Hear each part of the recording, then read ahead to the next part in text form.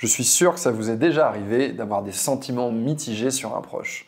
Vous êtes censé être ami et vous appréciez cette personne, mais à chaque fois que vous interagissez, vous sentez qu'il y a quelque chose qui ne colle pas, voire quelque chose qui vous met mal à l'aise. Mais vous n'arrivez pas à mettre le doigt dessus. Si vous vous reconnaissez là-dedans, cette vidéo, elle est probablement pour vous. Je vais vous donner 7 comportements malsains qui doivent vous alerter lorsque vous les repérez, et d'autant plus si vous les repérez chez vous. L'idée de cette vidéo, c'est surtout que vous appreniez à identifier ces tendances. Ensuite, vous pourrez chercher à les corriger, mais en tout cas, à ne plus les laisser passer lorsqu'elles se répètent dans vos relations.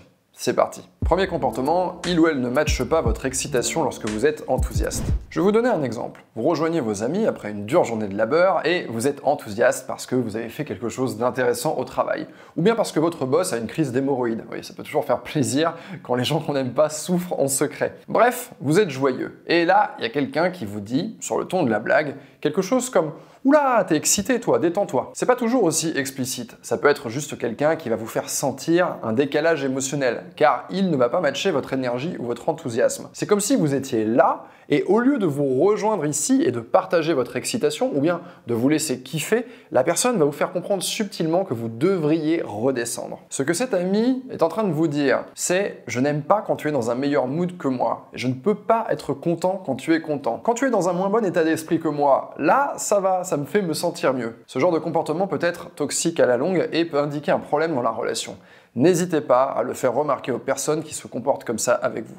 Comportement numéro 2, il ou elle ne sait pas vraiment écouter. Je vais attirer votre attention sur le fait qu'il existe deux types d'écoute, l'écoute technique et l'écoute active. L'écoute technique, c'est une écoute qui vise à donner des conseils à une personne qui vous partage un problème. C'est exactement ce que je fais en coaching. Lorsque quelqu'un m'apporte un problème, je l'écoute et je donne des conseils les plus concrets possibles. C'est une écoute qui est orientée vers la prise d'action. L'autre type d'écoute, qui a été formulé par le psychologue Carl Rogers, c'est l'écoute active. Elle est beaucoup plus émotionnelle et elle vise à accueillir ce que la personne vous partage. Les deux écoutes sont très utiles, mais elles ne sont pas interchangeables. Si vous partagez quelque chose et que votre ami vous coupe la parole pour partir dans une longue tirade technique et vous donner des conseils, ça ne part pas forcément d'une mauvaise intention, mais ça peut témoigner d'un manque d'intelligence émotionnelle. J'ai remarqué que paradoxalement, ça arrive souvent avec des personnes intelligentes qui réfléchissent beaucoup et qui aiment mettre leur intellect au service des autres. On a tous cette image de l'ado en avance sur les autres à l'école dans des matières comme les maths ou la physique, mais qui n'a pas su développer aussi vite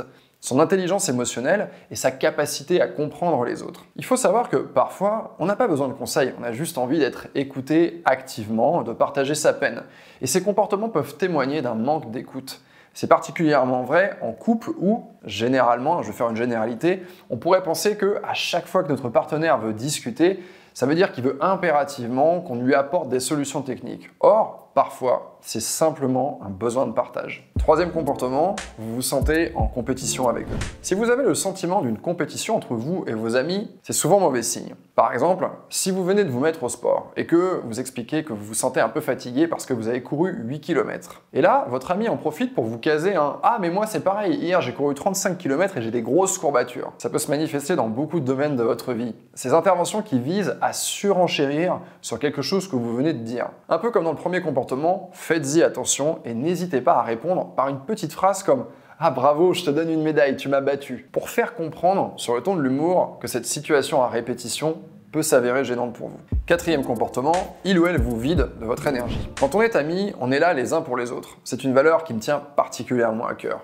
Mais si vous avez des amis que vous appréhendez de voir, ou si vous êtes stressé à l'idée de les avoir au téléphone, c'est souvent mauvais signe. Ça veut dire que la relation est déséquilibrée. Vous êtes en train d'envoyer de l'énergie vers la personne, mais elle absorbe tout et l'énergie ne circule pas entre vous. C'est quelque chose qui va vous épuiser à la longue, et surtout, c'est une relation de dépendance. Vous n'êtes pas en train de construire ou de partager ensemble. Vous êtes un fournisseur d'énergie. Telle une petite centrale nucléaire ou une éolienne, vous allez alimenter votre pote qui va se servir de votre source d'énergie pour se chauffer. Cinquième comportement, l'autre est mis mal à l'aise par vos excuses. On parle souvent des gens qui ne savent pas s'excuser. Alors évidemment, c'est un red flag. Vous n'avez pas besoin de moi pour le savoir. Mais je vais attirer votre attention sur l'attitude symétrique dont on parle assez peu. Quelqu'un qui est mis mal à l'aise lorsque vous vous excusez. Si vous fautez et que vous présentez vos excuses sincères, C'est tout à votre honneur et c'est quelque chose de très sain. Mais la manière dont votre ami va accueillir vos excuses en dit beaucoup sur lui ou sur elle. Si il est mal à l'aise ne sait pas les accueillir et change de sujet, vous dit qu'il n'y a aucun problème alors que manifestement vous avez fait une faute, eh bien ça peut être révélateur de quelqu'un qui considère le fait de s'excuser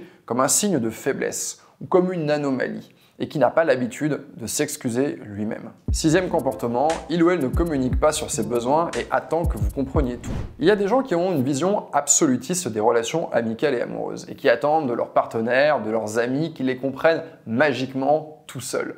Eh bien non, ça ne fonctionne pas comme ça. Une relation saine, c'est une relation où vous communiquez respectivement sur vos besoins pour aider l'autre à mieux vous comprendre. Si un de vos amis boude ou se sent incompris parce que vous n'avez pas su anticiper quelque chose et que ça arrive systématiquement, vous pouvez travailler sur votre attention, bien sûr, mais la personne en face va devoir apprendre à exprimer ses besoins et ses attentes. Ça peut révéler d'un manque d'empathie ou d'un égocentrisme, où la personne ne comprend pas ou ne considère pas la singularité de la personne en face, que l'autre a son propre circuit émotionnel, ses propres attentes, ses propres besoins. Non, non, non, le monde ne tourne pas uniquement autour de toi. Septième comportement, il ou elle rabaisse gratuitement son partenaire devant vous. Je ne parle évidemment pas d'un ami qui se plaint parce qu'il se serait disputé avec son ou sa partenaire, ça évidemment ça arrive, et c'est des discussions classiques d'amis. Je fais référence ici à des femmes ou à des hommes qui vont descendre ou rabaisser gratuitement les personnes avec qui ils ou elles sont en couple dans leur dos ou alors simplement ne pas les défendre lorsque quelqu'un porte atteinte verbalement à leur partenaire qui est absent. C'est un comportement un peu spécifique, mais ça devrait vous alerter, parce que vos amis ont choisi leur partenaire,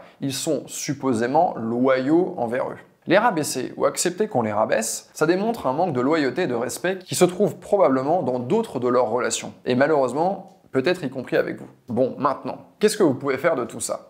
Le but n'est surtout pas de couper les ponts avec tous vos amis si vous pensez percevoir un seul de ces comportements. Après tout, on est humain et je l'ai dit en début de vidéo, vous êtes susceptible d'avoir eu un de ces comportements vous-même. En réalité, c'est l'occasion de s'améliorer ou d'améliorer ses relations en apprenant à communiquer sur ces choses qui empêchent votre amitié de prendre une autre dimension. Il s'agit donc de commencer à prêter attention à ces différents comportements et surtout, quand ils surviennent, à en parler de manière directe et la plus bienveillante possible avec vos amis. Si cette vidéo vous a appris quelque chose, vous apporte quelque chose, n'hésitez pas à me le faire savoir en mettant un like juste en dessous, ça fait toujours plaisir. D'ici là, je vous dis à très bientôt.